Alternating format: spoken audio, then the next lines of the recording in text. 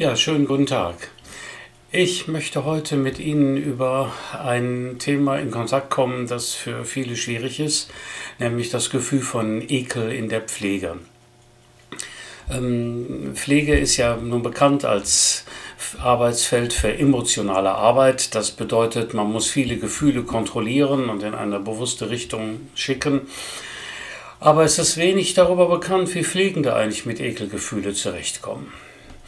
Ekel ist erst einmal ein sehr mächtiges, grundlegendes Gefühl, das wir haben, das uns eher überwältigt, also übernimmt und das vielfältige Folgen hat für unser Verhalten, für unser Empfinden.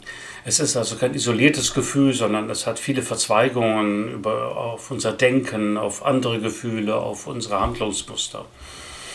Ja, und in der Regel taucht äh, Ekel auf bei ähm, Schmutz, bei körperlichen Ausscheidungen und stellt evolutionstheoretisch betrachtet ein Schutz vor Ansteckung und Tod dar. Ne? Ursprünglich ist Ekel ein Impuls, Fremdkörper aus dem Mundraum zu entfernen. Und daher hat Ekel viel zu tun mit den Themen Mund, Geruch und Ausspeien. Das sind eigentlich so die, ähm, ja, äh, die, die Ebenen, die hier mit involviert sind. Andererseits ist Ekel aber auch abhängig von der Kultur. Also was man als eklig empfindet, ist auch, ne, also zum Beispiel in Japan ist es, gilt es als eklig, sich in der Öffentlichkeit die Nase zu putzen. Bei uns dagegen eben nicht. Ne? Und der Ekelmechanismus wird im Grunde genommen genutzt, um sehr früh ein bestimmtes Verhalten einzutrainieren, also was sich gehört und was sich nicht gehört zu unterscheiden. Und das, was sich nicht gehört, ist dann eben eklig.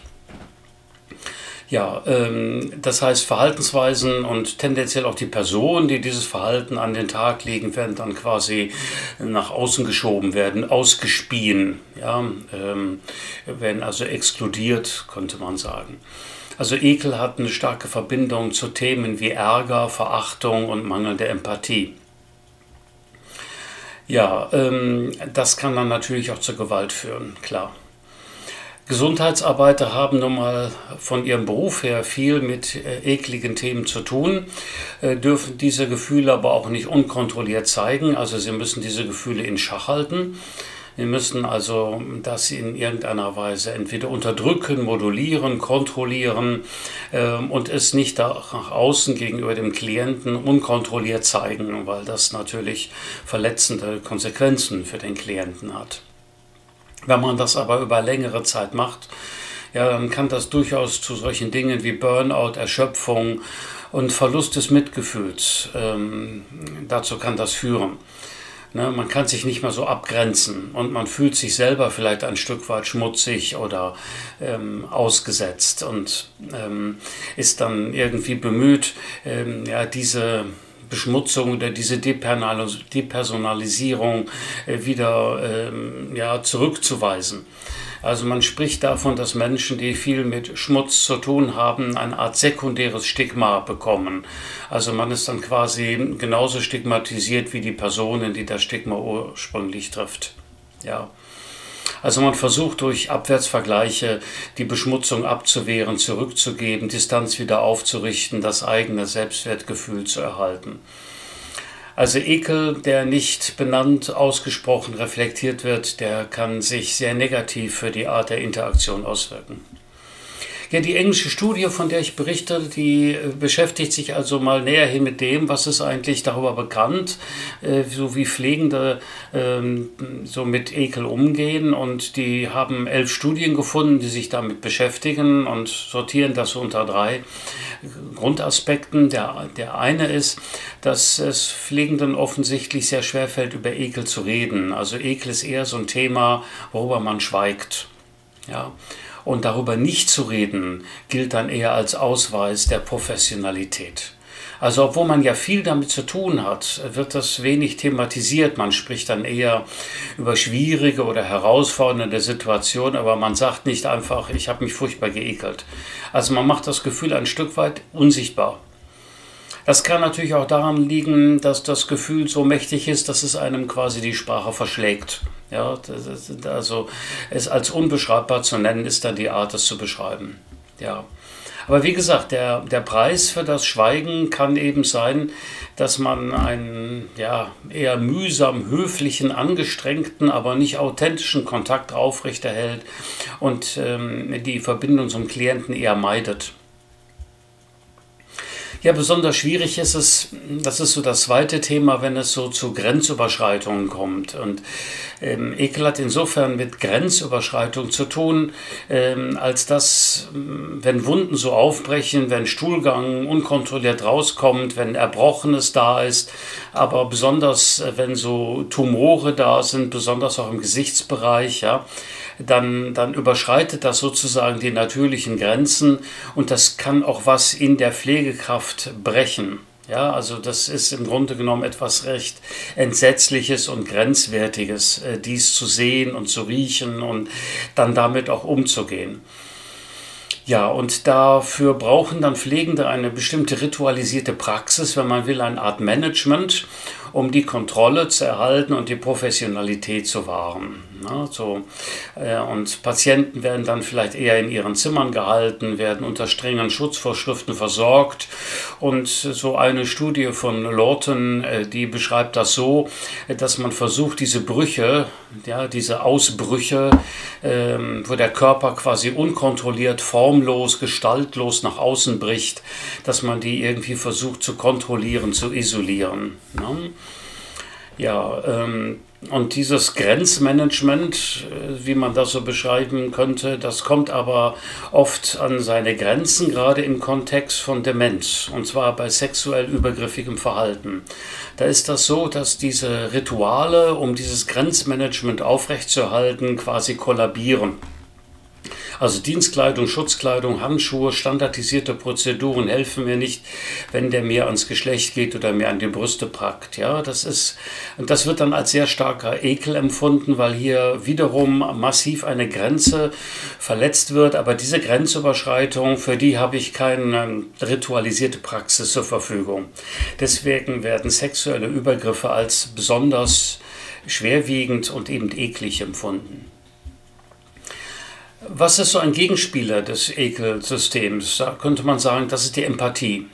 Also ein, äh, ein Versuch, äh, bewusst meine Wahrnehmung und Empfindung umzupolen. Ja, und dann kann es dazu kommen, dass man Ausscheidungen eher als gesund und normal beschreibt, dass man die Ekelarbeit äh, eher so beschreibt, dass man damit die Würde des Betroffenen und der Angehörigen wahrt.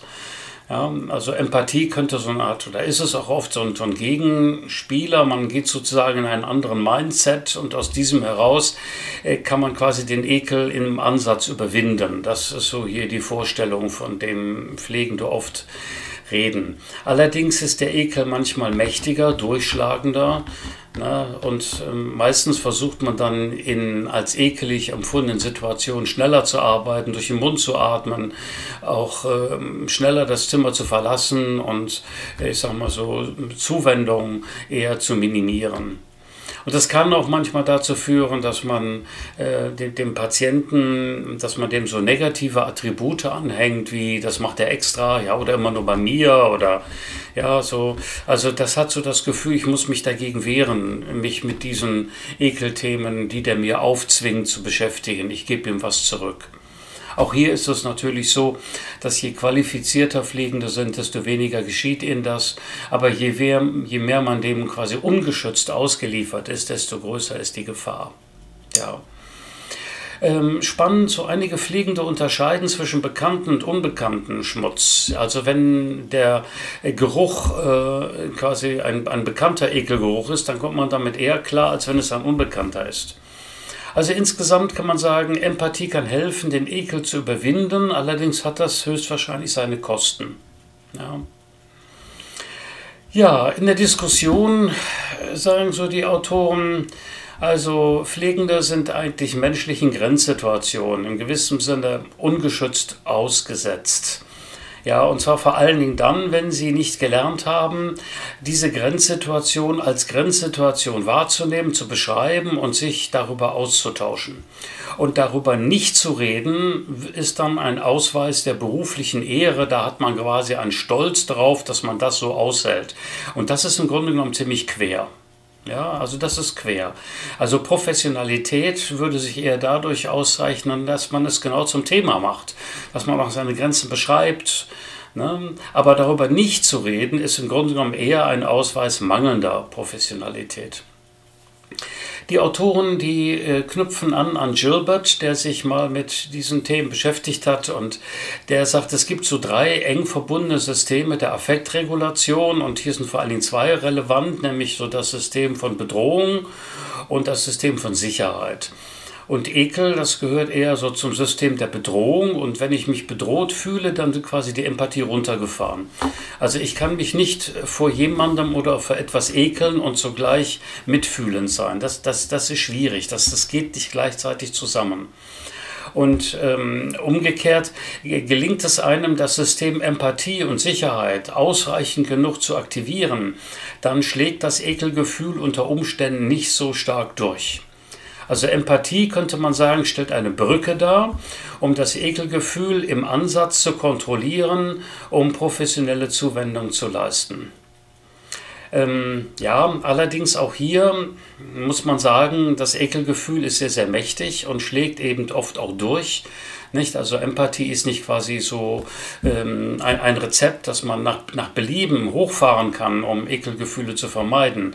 Und deswegen ein Übermaß an Schweigen, an Kontrolle, ähm, an, an, an Ertragen, ja, das schwächt auf die Dauer das Mitgefühl und hüllt die Empathie von innen aus. Also ohne eine bewusst gelebte Praxis der Selbstpflege, wozu eben auch gehört, über diese Dinge zu sprechen, sich auszutauschen, Grenzen zu ziehen, geht die Empathie auf die Dauer kaputt. Ja, soweit mal heute meine Ausführungen zum Thema Ekel in der Pflege. Ähm, wie immer, ich würde mich freuen, wenn wir darüber ins Gespräch kommen, wenn Sie sich mal melden, wenn Sie dazu eigene Erfahrungen beitragen. Ne, vielleicht kann das ja mal ganz spannend sein, ähm, ja, sich so im Forum darüber auszutauschen. Äh, schauen Sie auch sonst mal auf unsere Blogbeiträge. Ansonsten alles Gute Ihnen und schönen Gruß, Christian Müller-Hergel vom Dialogzentrum Leben im Alter.